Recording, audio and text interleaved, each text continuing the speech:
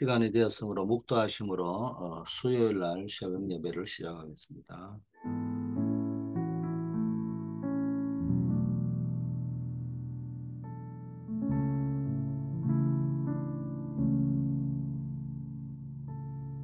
아버지 하나님 매일매일 임마누엘의 축복이 누려지게 하시고 또 매일매일 하나님과 동행하는 삶이 되게 하시고 매일매일 하나님의 은혜가 우리 가운데 넘치게 하옵소서. 예수 그리스도 이름으로 기도드립니다. 아멘. 예, 오늘도 하나님이 여러분과 함께 하기를 축원합니다. 하나님의 말씀 마태복음 22장이 배경입니다. 2절 읽어드립니다.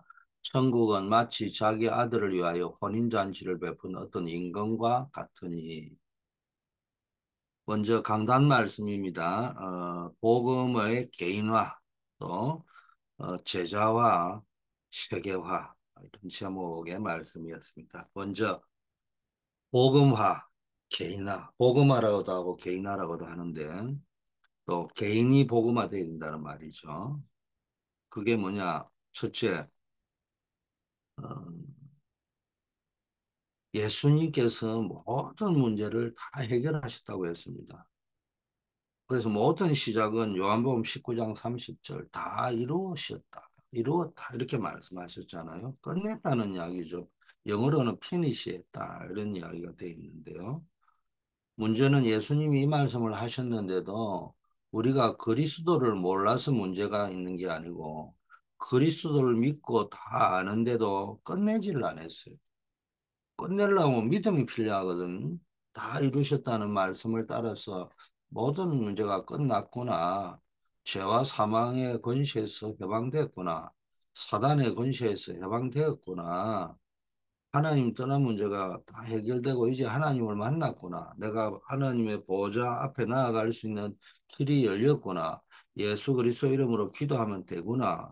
뭐 끝을 내야 되는데 끝이 안 난 상태에서 자꾸 다른 거를 가지고 확인하려고 하다 보니까 틀린 복음, 다른 복음이 되어버립니다. 복음을 몰라서 그런 것이 아니란 말이에요.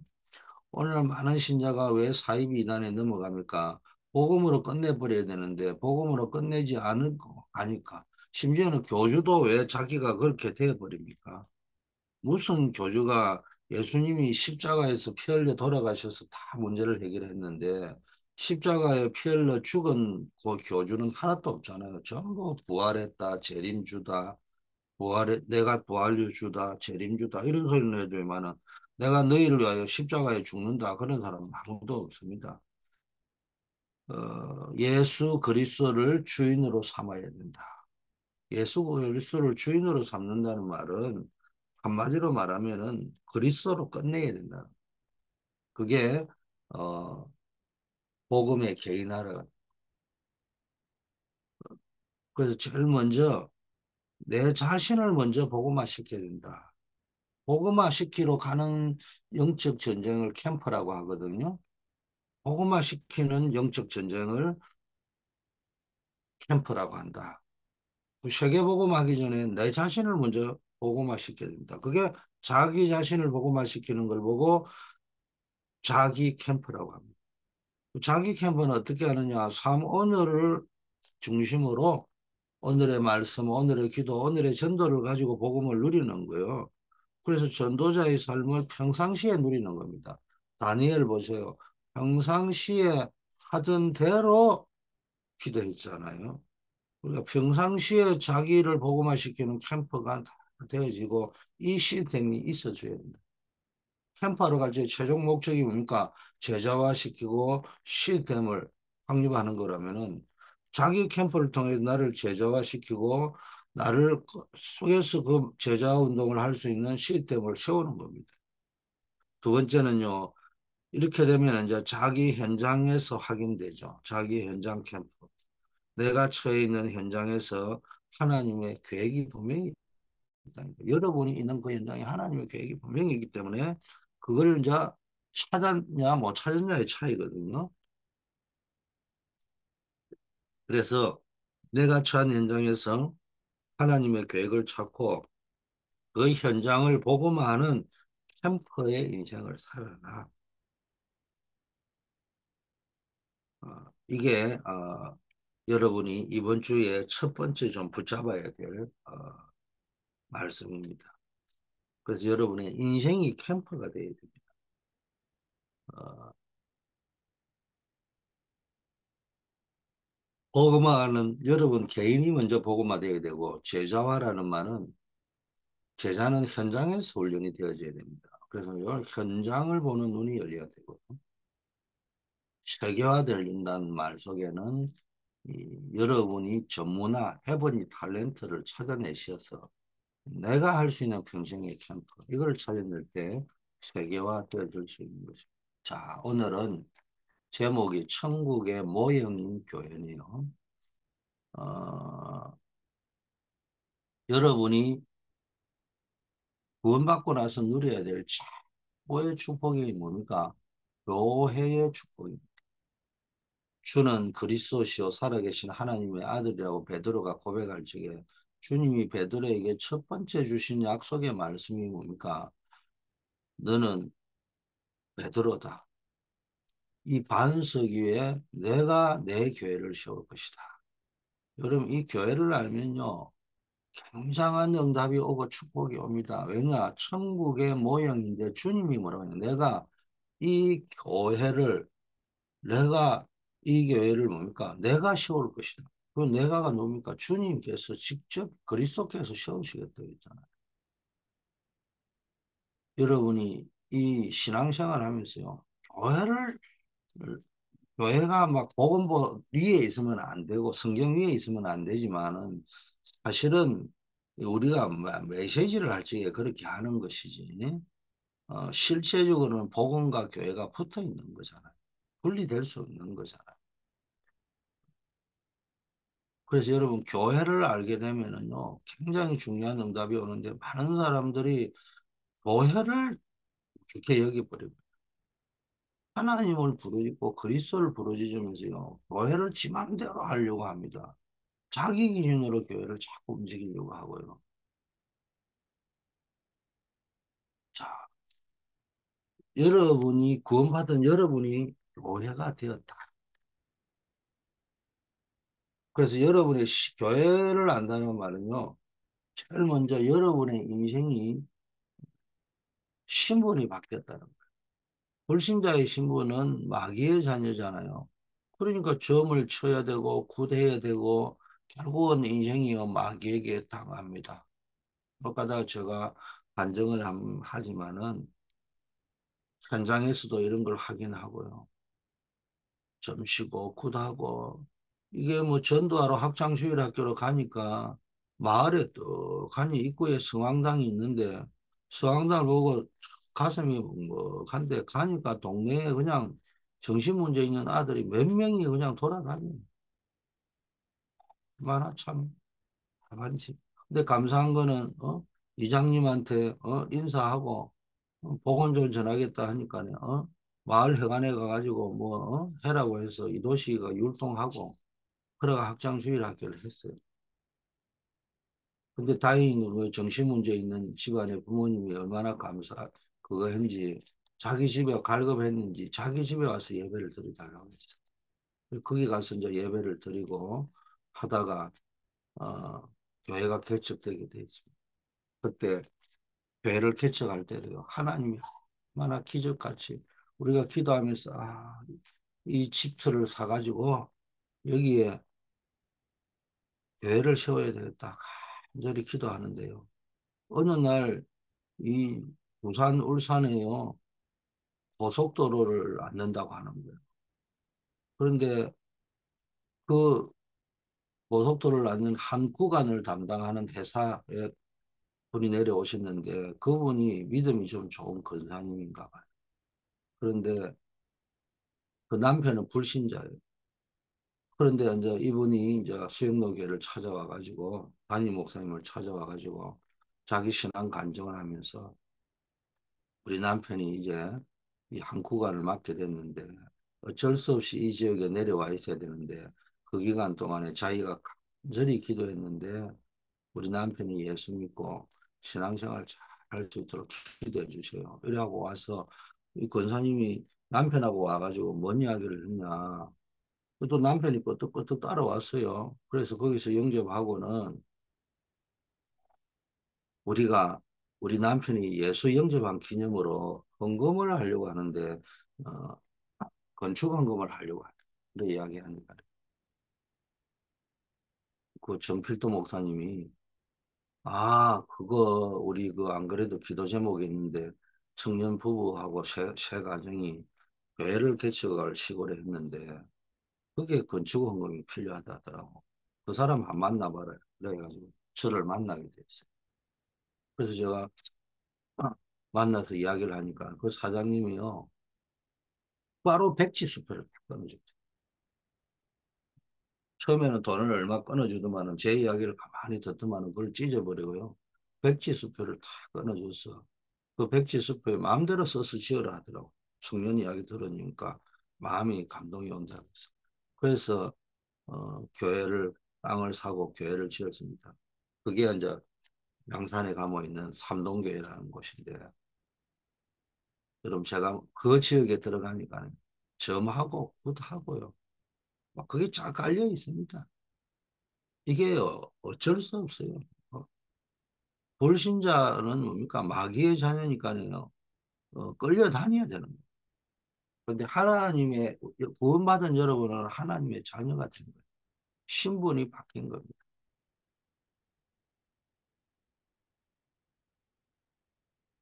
이걸 여러분이 아셔야 된다. 여러분은 이제 하나님의 자녀가 됩니다. 완전히 신분이 근본적으로 바뀌었다. 그러면서 뭡니까? 하나님의 자녀는 신분이 바뀐 정도가 아니고요. 이제는 구원받다는 증거로 성령이 여러분 안에 내조, 인도, 역사하시는 겁니다. 이제는 뭡니까? 여러분이 기도하고 예배할 때 하나님이 천군 천사를 보내어 말씀을 이루시는 겁니다.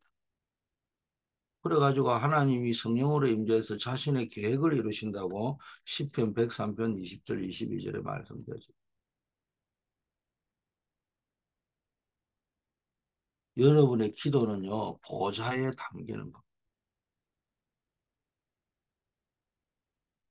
그래서 천군 천사의 뭡니까 금대집에 금향로에 달아가지고 하늘 보좌로 뭡니까 올리는 것이 계시록 8장 3절 5절에 나와 있잖아요. 그 하나님은 여러분이 기도할 때 주의 사자를 보내십니다. 다니엘 10장 10절 20절 말씀에 나와 있죠. 그러면서 뭡니까? 성령이 임하면 어떤 일이 벌어집니까? 사단이 결박됩니다. 그리고 거기에 하나님의 나라가 있습니다. 마태복음 12장 28절 30절입니까? 강한 자를 완전히 결박하고 흑암 세력이 꺾이고요. 하나님 나라가 임한. 예수님이 감남산에서 불러서 뭔 말씀을 하십니까? 하나님의 나라의 일을 말씀하시면서 동시에 뭘 이야기합니까? 이제는 세계 성령 충만 받으면은 성령 권능을 받아가지고 땅 끝까지 정리될 것을 말씀하셨습니다. 이 일곱 가지 세븐 블레싱 이걸 여러분이 아셔야 됩니다. 자, 그렇다면은 여러분 교회의 축복 가운데 가장 중요한 축복이 뭐냐? 예배의 축복. 그래서 교회의 축복을 놓치고 예배의 축복을 놓치면은 인생이 헛되게 살아가는 겁니다. 자, 예배는 뭡니까? 제일 먼저 천국 잔치에 참여하는 거죠. 천국의 모형이 교회라 했는데 그대로 천국에는 성삼위 하나님이 계시잖아요. 성삼위 하나님께서 임재하시는 특별한 모임에 참여하는 겁니다. 그것이 뭡니까? 보좌의 축복이 많으시다. 이게 갈보리산에서 일어났고 감남산에서 약속되고 마가다락방에 일어난 응답을 그대로 누리게 되는 겁니다. 갈보리산에서 주님이 십자가에 피 흘리시면서 뭡니까? 우리 인생의 근본적인 문제를 다 이루셨기 때문에 finish 끝냈다고 이야기. 그러면서 감람산에서는 뭡니까? 이제는 너네들이 해야 될 일이 이 땅에 하나님의 나라를 건설하는 것이다. 곳곳에 교회를 세우는 것입니다. 움직이는 교회를 세우는 겁니다. 움직이는 플랫폼이랄 때 그게 뭘 이야기하는 겁니까? 교회의 축복을 이야기합니다. 그리고 마가다라 방에서 약속했던 성령의 충만함이 일어났잖아요. 뭐 그걸 통해서 사도행전이 역사가 일어난 겁니다. 이런 사도행전적인 응답을 그대로 누리게 되는 것이 천국 잔치에 참여하는 두 번째 예배의 축복은 뭐냐? 이제는 천국의 잔치뿐만 아니라 혼인잔치에 참여합니다. 왜 혼인잔치를 하느냐? 예배가 잔치는 잔치인데 무슨 잔치냐? 지옥 잔치가 아니고 천국 잔치, 기쁨의 잔치, 행복의 잔치라는 이야기고 이제는 혼인이라 할 때는 그리스도가 우리의 신랑이고 성도는 신부라고 성경에 표현이 되어 있습니다. 그래서 이곳에는 약속이 있는 곳, 기쁨이 있는 곳, 미래가 들어있는 곳이라는 겁니다. 이스라엘은요, 혼인잔치를 세 번 합니다. 첫 번째는 가족들만 모여서 하는 정혼식이라고 하죠. 정혼식. 어, 마리아와 어, 요한이 뭡니까? 뭐, 예수님의 아버지 목수 요셉이 뭡니까? 어, 결혼할 적에 뭡니까? 정혼식을 했다. 그렇게 있죠. 두 번째는 신부 집에서 하는데요. 어, 신랑이 신부 집에 가는 시간이 정해져 있지 않습니다. 그래서 이제 정혼을 하고 나면은 두 번째 신부 집으로 갈 때 뭡니까? 시, 신랑이 언제 도착할지를 모르잖아요. 이게 뭡니까? 예수님의 재림의 시간표와 유사한 것이다. 비슷하다. 그래서 우리는 뭡니까? 언제 주님이 오실지 모르기 때문에 늘 깨어 있어야 되는 겁니다. 세 번째, 마지막으로, 어, 신랑의 집에서 자, 청, 혼인잔치를 하는 겁니다. 이게 뭡니까? 우리가 천국에 가서 하게 되는 영적인 혼인잔치를 이야기하는 겁니다.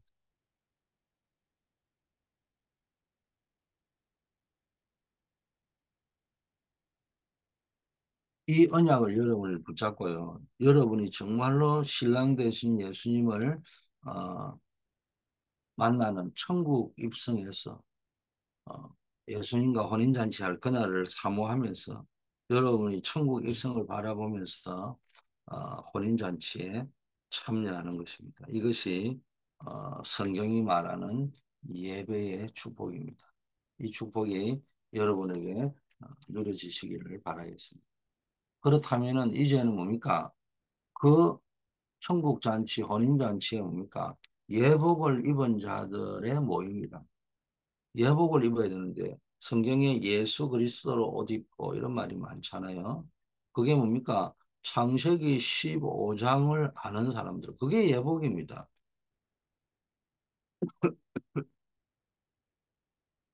여인의 후손이 뱀의 머리를 상하게 할 것이다. 남자의 후손이 아니라는 말이죠. 후레기 3장 18절 피제사의 비밀 피제사의 피제사를 드려야 될 그리스도의 십자가의 언약을 붙잡은 사람들이 예복을 입은 자들입니다. 이사야 7장 14절을 알아들은 사람들의 모임이라 임마누엘의 언약을 붙잡은 사람. 마태복음 16장 16절을 고백한 사람들의 모임이죠. 주는 그리스도시요 살아계신 하나님의 아들이시다.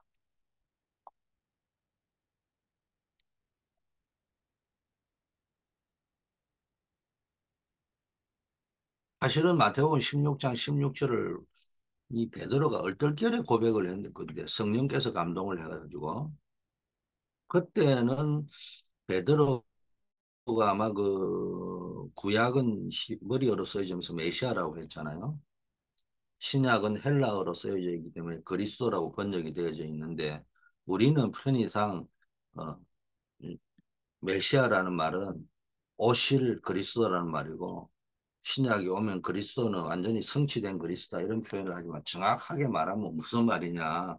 구약에는 오실 메시아를 기다리고 있었고 신약에 우리는 오신 메시아를 믿고 있다. 이 표현이 맞고요.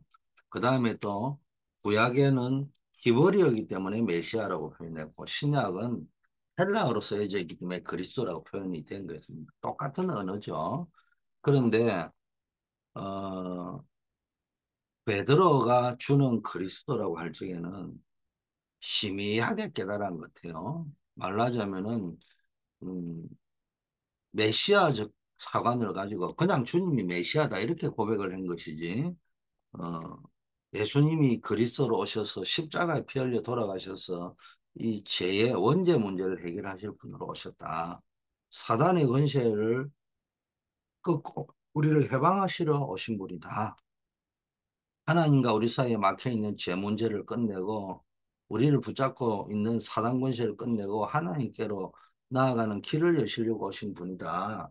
이건 못 깨달았던 것 같아요. 그러니까 예수님이 십자가에 죽으실 걸 이야기하니까 그리 하지 말라고 이야기하는 그런 우를 범하게 되잖아요.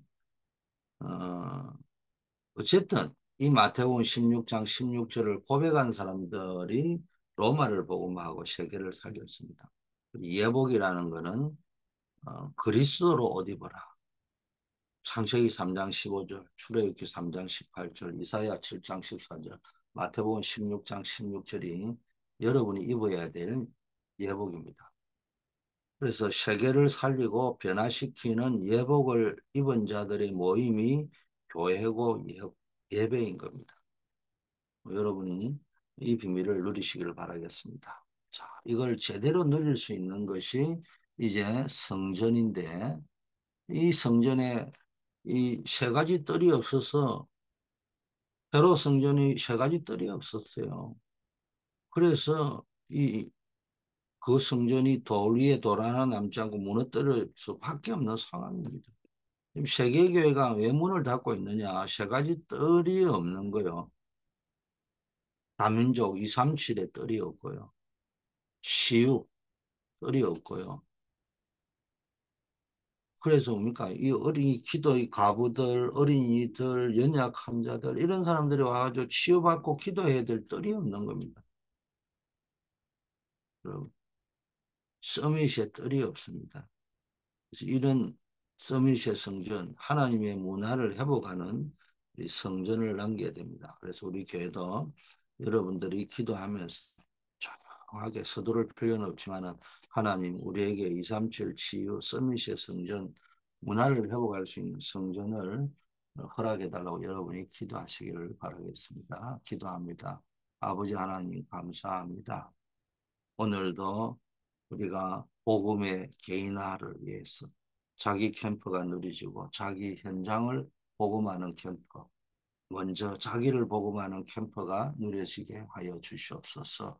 오늘도 예수님이 우리 인생의 주인이 되시고 모든 문제를 해결했다고 하셨는데 그것에 대한 분명한 믿음과 확신을 가지고 승리하게 하옵소서. 우리에게 참된 기도의 비밀, 예배의 비밀, 교회의 비밀이 회복되게 하옵소서. 우리 워싱턴 초대교회도 본격적으로 237 치유 서밋 운동을 할수 있는 성전, 하나님의 문화를 회복할 수 있는 성전의 축복을 허락하여 주시옵소서. 아버지 하나님 어, 세계 선교사 대회를 축복하여 주시고 또 이번 주에 있을 우리 어, 아, 미주 청년 어, 선교 국에서 진행하는 어, 청년 전도 학교를 하나님이 축복하여 주시옵소서. 어, 오늘도 기도하옵기는 전 현장에 흩어져 있는 우리 어, 전도자들, 현장 사역자들에게 성령 충만함을 허락하여 주셔서 70 제자를 찾을 수 있게 하시고 그 70 제자를 통해서 70 현장 지역에 생명운동이 일어나는 역사 있게 하시고 더 나아가 70 종족, 70 나라 살리는 운동이 일어나게 하옵소서. 우리 다민족 사역 현장에도 하나님 역사하시고 우리 또 영어 예배팀을 하나님이 축복하시고 캠프팀을 축복하여 주시옵소서. 이들이 발걸음 닿는 곳이 흑암이 꺾어지고 하나님의 나라가 임하게 하옵소서. 우리 환우들 하나님이여 질병 때문에 기도하다가 전무후무한 응답을 받는 질병이 축복의 기회요 전화의복의 기회가 되는 역사를 체험케 하옵소서.